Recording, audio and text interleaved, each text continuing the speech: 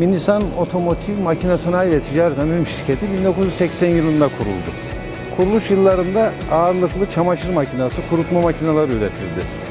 2000'den sonra daha çok ısıtma grubuna ağırlık vererek kuart soba, infrared ısıtıcı grubunda devam ediyor.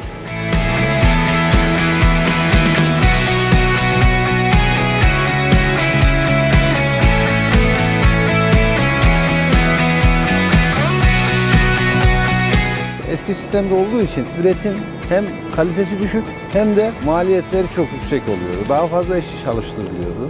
Orta Anadolu Kalkınma Ajansı'na başvurduğumuzda biz bu desteği aldık. Destekten sonra hem ürünlerimizi geliştirmede, üretimimizi artırmada daha seri, daha hızlı ve maliyet düşürerek devam ettik.